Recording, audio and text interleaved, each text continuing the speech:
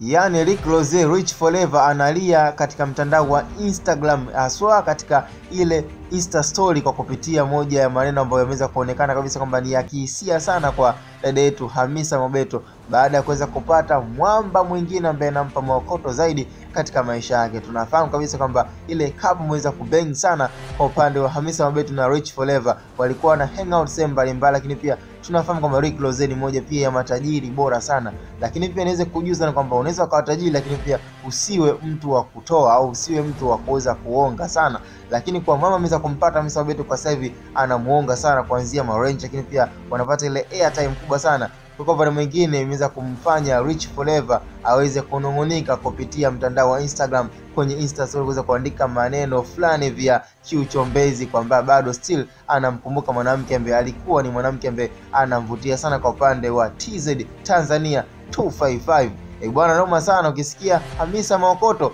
basi ndo huyo, haangalii ustaa ila anaangalia maokoto.